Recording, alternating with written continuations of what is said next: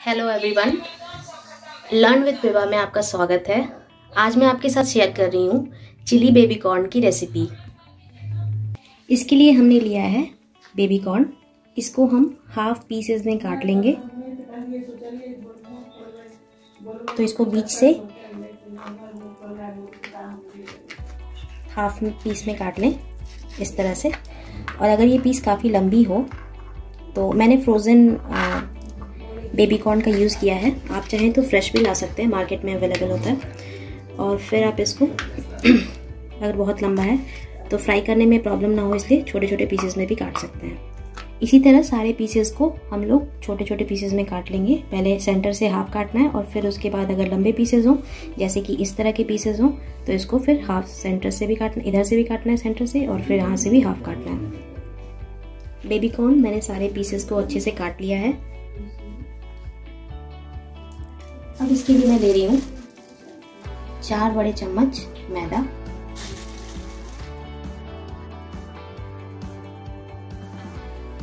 दो बड़े चम्मच कॉर्नफ्लावर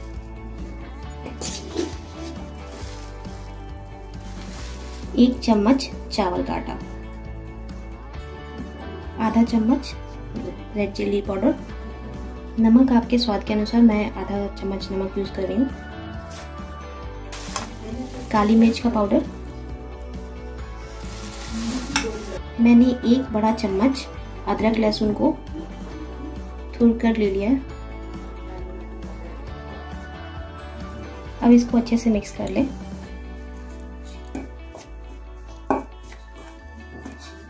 इसको मिक्स करने के बाद हम इसमें कटे हुए कॉर्नफ्लोर को ऐड करेंगे और फिर थोड़ा थोड़ा करके पानी ऐड करेंगे क्योंकि हमको इसका जो पेस्ट बनाना है, उसको हम लोग को ज़्यादा पतला नहीं करना है। तो मैं तो मैं अब इसमें कटे हुए कॉर्नस को ऐड कर रही हूँ।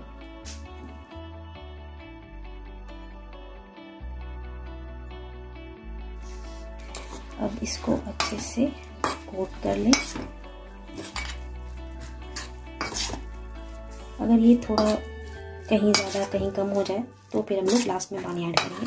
पहले स्टार्टिंग में पानी मत ऐड करें कोशिश करें कि अगर ये बिना पानी के कोट जाए, क्योंकि कम से कम पानी में अच्छे से इसके ऊपर कवर करेगा।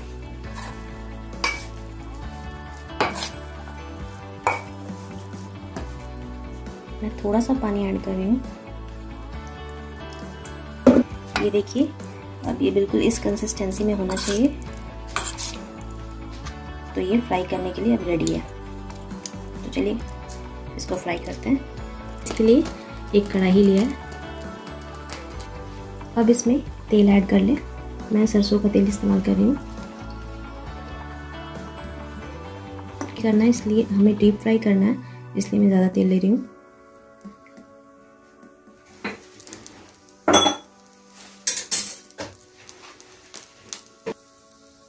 आप इसी तरीके से इस सेम चीज़ों के साथ बेबी कॉर्न की जगह पे गोभी को या फिर पोटैटोज़ को या फिर आपको जो भी पसंद है, इन सेम ग्रेवी के साथ आप चिली पोटैटो या चिली गोभी ये सब भी बना सकते हैं। तेल अब गर्म हो गया है तो अब मैं इसमें बेबी कॉर्न को डाल रही हूँ फ्राई करने के लिए।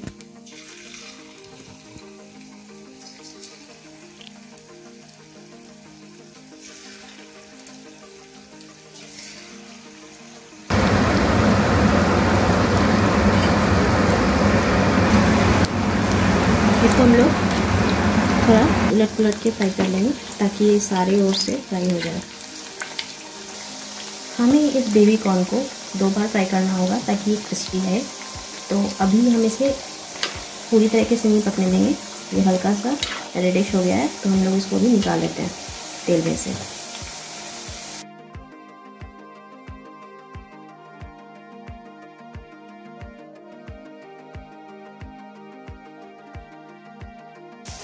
इसको तुरंत दोबारा फ्राई नहीं करना है।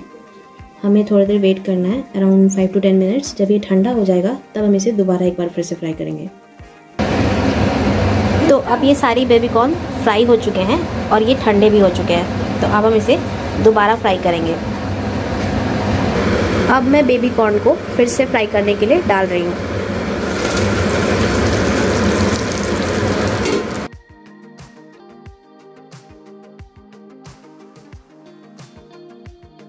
आप फ्लेम को लो से मीडियम के बीच में ही रखें। अगर आप हाई फ्लेम पे इसको फ्राई करेंगे तो ये ऊपर से तो पक जाएगा, पर ये अंदर में कच्चा रह जाएगा।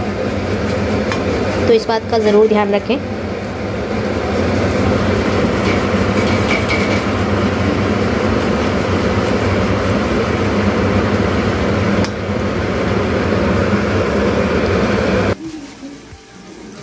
अब ये डबल फ्राई हो चुका है बेबी कॉर्न अब मैं इसको निकाल रही हूँ, ये बिल्कुल क्रिस्पी है, मैं आपको थोड़ी देर में दिखाती हूँ। और अब हम इसके आगे का प्रोसेस स्टार्ट करेंगे तो आप जल्दी से इसको तेल से निकाल लें। तो कहीं भी इसको, इस रेसिपी को छोड़ के मत जाइएगा, और कीप वॉचिंग आगे के प्रोसेस के लिए।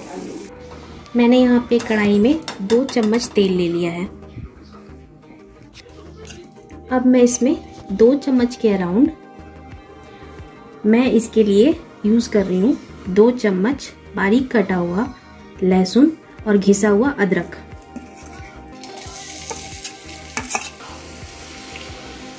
मैंने यहाँ पे बड़े साइजेस में कटे हुए दो मीडियम साइज़ के प्याज लिए हैं।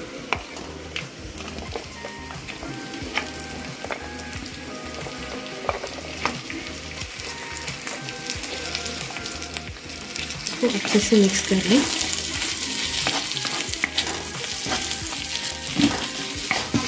अब मैं एक कैप्सिकम जो कि बड़े साइजेस में कटा हुआ है, उसको ऐड कर रही हूँ।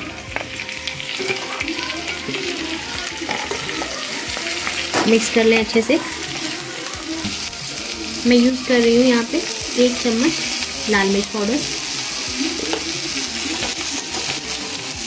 मैं यूज़ कर रही हूँ छोटी चम्मच काली मिर्च पाउडर मैंने काली मिर्च को भून लिया है। मैं आधा चम्मच नमक यूज़ कर रही हूँ। मैं एक बड़ा चम्मच टोमेटो सॉस यूज़ कर रही हूँ। मैं दो बड़े चम्मच रेड चिली सॉस यूज़ कर रही हूँ। चम्मच विनेगर यूज़ कर रही हूँ।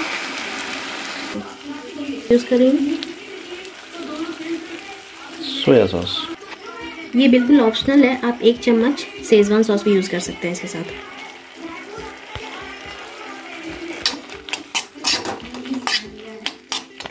यहाँ पे एक बड़ा चम्मच हनी यूज़ कर रही हूँ। आप इसकी जगह पे शुगर भी यूज़ कर सकते हैं।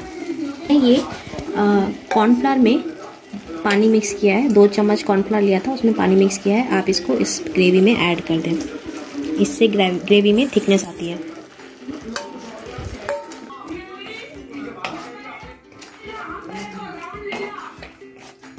अब ये ग्रेवी तैयार है। अब मैं इसमें ऐड कर रही हूँ बेबी कॉर्न जो हमने फ्राई करके रखा था पहले से। डबल फ्राई करके रखा था। अब इसको अच्छी तरीके से ग्रेवी के साथ मिक्स कर लेंगे। ये देखिए बेबी कॉर्न बिल्कुल अच्छे तरीके से ग्रेवी के साथ मिक्स हो चुका है। अब हम इसमें लास्ट में ये मैंने तिल लिया था वाइट कलर का और इसको हल्का सा रोस्ट कर लिया है। और आप इसको अब इसके अंदर ऐड कर दें। ये बिल्कुल ऑप्शनल है। आप इसको भी चाहें तो ऐड कर सकते हैं, नहीं ऐड करें, कोई ज़्यादा डिफरेंस नहीं आएगा आपके टेस्ट में। बट ये सजेस्टेड है। आप चाहें तो अप्लाई करें, चाहे तो ना करें। ये रेडी हो चुका है तो हम इसे गैस से उतार कर सर्व करते हैं। तो अब आप इसे एक अच्छे से सर्विंग प्लेट में सर्व कर लें। ये लीजिए बेबी कॉर्न तैयार है। तो अगर आपको मेरी ये रेसिपी पसंद आई हो तो प्लीज़ मेरे चैनल को सब्सक्राइब कीजिएगा। और अगर आपको ये वीडियो पसंद आया हो तो इस वीडियो को लाइक और शेयर कीजिए। और मेरे चैनल को सब्सक्राइब करना ना भूलें। Thank you